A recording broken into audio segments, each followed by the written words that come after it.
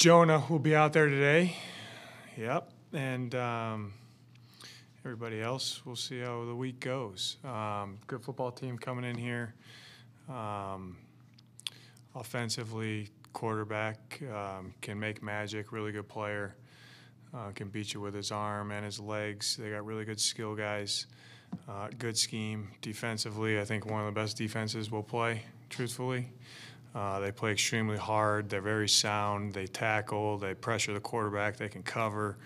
Um, you know, impact players all three levels. They got continuity on that side of the ball. You know, they they they play with accelerated vision, as I would say. They take the ball away. Um, so we got a work cut out for us. It's going to be a big time challenge. Do, uh, do, do defending rookie quarterbacks is that any different now than maybe when you first got into coaching in the league, or is it about the same? Mm, I don't know that, Darren. I think uh, every quarterback's different. Every scheme's different. We got to know what he likes to do and how he operates, and try to make it hard as make it hard on him as much as we can. But through watching film, in what ways does he play beyond his years? Um, he knows where to go with the ball. Um, he's accurate, and then the extension plays, you know, is unique. Before he went down, what sense did you get of what Jonah could give you this season? Um, be a big time player for us. When you look at his skill set, are the things that, that jump out? Yeah, I mean, he's, he's very technique sound. He's strong. Uh, he's smart.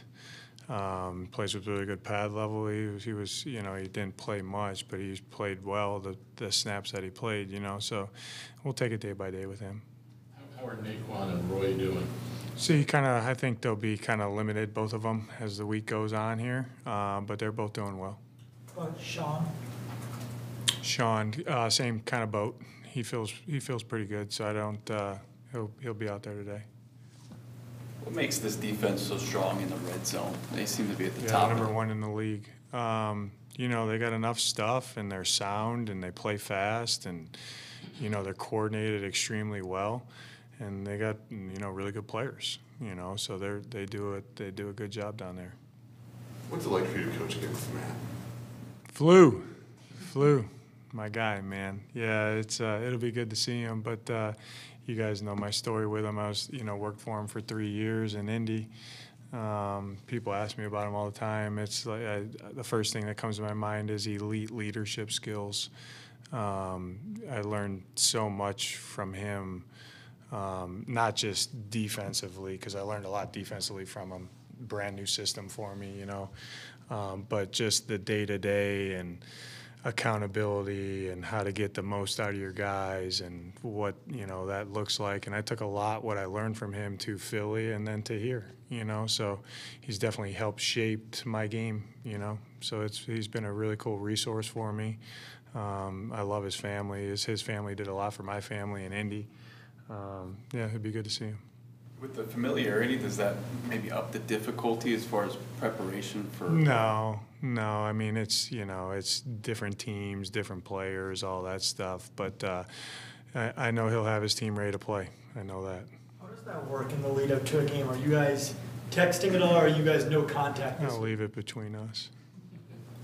We're about halfway to the midseason point. How would you assess your overall front seven play, and more specifically the pass rush? Yeah, I think we got to continue to find ways to affect the passer. You know, there, there's been some there's been some glimpses in some games where we've done it pretty consistently, and there's been some games that we haven't been so consistent. So, I think all 11 guys, you know, rushing coverage, cover and rush. My wife knows that phrase. You know, she knows it to be true though. You know, um, so everyone's got to be coordinated, and and this is a big time challenge for us because you he forces you to play differently on defense. You know, he really does because of his skill set. So we're gonna have to execute that plan. How much of a cha- excuse me, how much of a challenge is it also with the pass rush, with the way quarterbacks get rid of the ball a lot of times so quickly? Yeah, it's it's hard. You know, some guys win and the ball's out. You know, whizzing by their ear. You know what I mean? So that's just the NFL game today. That's why there's so many points. That's why there's so many elite quarterbacks out there. You know, it's you gotta you gotta do things throughout the game that try to make them uncomfortable. You know. And there's a whole list of things that go into that. So uh, we got to be on on the details of that this week. You talk so much about the technique for defensive backs. Where is Garrett at on all He's doing well. He's doing well. Yeah, I um, you know he he continues to improve each each week. I think you know there's learning from all his snaps every game that he plays, and he's you know he's young. You know he's I know second year, but he kind of missed the first first part of the last year. Um, coming off the injury, so he's got a ton of growth, but he's playing good football for us right now. We ask a lot of him, um, and he can he can do it physically, he can do it mentally. He's been a he's been a good player for us. Has he grown in that year since he got healthy? Year or so since he got healthy last possible. Um, off the field, I think he's grown with his with his process and what he does. Um, he's a guy that, uh, um, not to get too much into his business, but I felt like was doing a little too much at times. Um, so we kind of streamlined his process a little bit. Um, and then I think just you know understanding you know what we ask of him and those different techniques and what needs to get done. And you know he's got a tough he's get he gets tough straw a lot you know in the slot. That's a tough position to play because you got the whole route tree to defend. And a lot of times you don't have any help. And you know you got can't get beat deep but you got to challenge the first and second level routes. You know there's a lot going on for him. So he's doing a good job. I'm glad we have him. When you see guys, especially young guys, put too much on their plates, is that something you step in personally and say, hey, like, why don't we work on cutting out this, just focus on this? Yeah, just just all of our players are different, but he's a guy that actually is funny that you asked, Teo. He's a guy that pops out in my mind that, um, you know, when he leaves here, he does a lot. And I and I just kind of have talked to him about streamlining, you know, what he's doing from 6 p.m. till 11 p.m. You know, to make sure that he's ready to go. You know, and uh, it's it's always you'd rather have that, but you look at his iPad, it's like, dude, how'd you watch six hours of tape from seven to from seven to midnight? Like that's there's only five hours, you know what I mean? Like, so um, you know, I'm on him about getting enough rest and and unwinding. You know, he's he's uh, he puts a lot of time into his craft, which I appreciate, but you got to be smart about it too. So he's and he's receptive and he's good and he's working on it. I saw his mom in the lobby in Miami and she was like, you know, when she comes and visits, he has a process that he doesn't let allow anyone to mess up. You know, what I mean, that's a good thing. You know, so it's he's uh, he's very mature, very mature. What, what is the realistic expectations in terms of getting Darius on the field for however many? Yeah, one day at a time with Darius. You know what I mean? I know procedurally we made the move that we made. Uh, we'll take it one day at a time, but he's doing good. As a fan of this game, as a coach in this game, do you have any sort of reaction when you see a play like unfolded with, with the Bears and the Commanders that last? Just try to learn from it. You know, both side, both both sides. You know, just like we do around the league. You know, we try to learn from everything that we can, um, educate our guys, and and just try to learn. Given that lo- that kind of loss, do you notice teams having more of a chip on their shoulder, playing with a little more? Sure they will. Who's uh, got the 40? uh, Chris week? Moore. Chris Moore. Yeah, he did a good job. He was wearing uh, 17 last week, so he did a good job for us. Coach, where do you assess the, just the mentality, the emotion of this team right now? Uh, yeah, that's a that's a good question. Um, mentality is is it doesn't matter how you feel, you got to act.